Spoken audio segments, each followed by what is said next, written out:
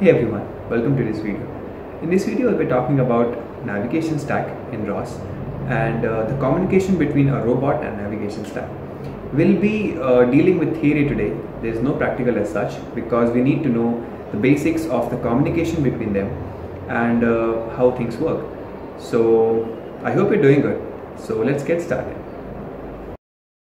In this video, we'll be talking about ROS navigation stack and how ROS navigation stack helps a ROS based robot move from one point to the other autonomously. With that said, let's go inside the architecture of the data flow navigation stack. So this is how it looks from the overall perspective. Now let's see what all data a robot needs to provide to the server so that it can start doing its work. First comes transform. Transform frame is a package which helps the navigation stack understand the relationship between the parts of the robot. Now the second is timestamp.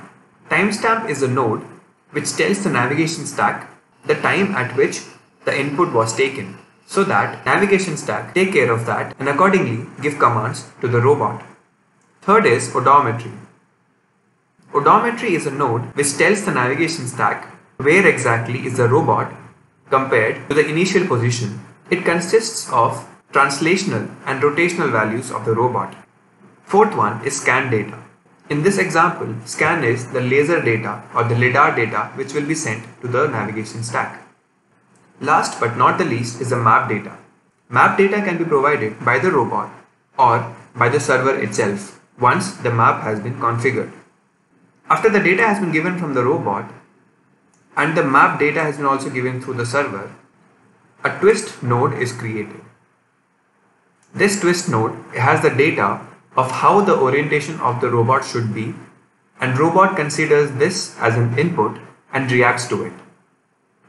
Now let's see this architecture in much professional form. This is how it looks like. You can see here, this is the input from the robot that we talked about. This is the navigation stack that we were talking about. And this is the output which goes back to the robot and robot responds to it. We'll go through each and every node of the structure in the upcoming videos and understand which structure or which node does what. I hope you've understood the basics of navigation stack. In the next video we'll talk about each and every element of navigation stack and how things come together and see a robot autonomously walking from one point to the other and hope you'll be able to make something the same on your own. Thank you so much for watching and have a nice day.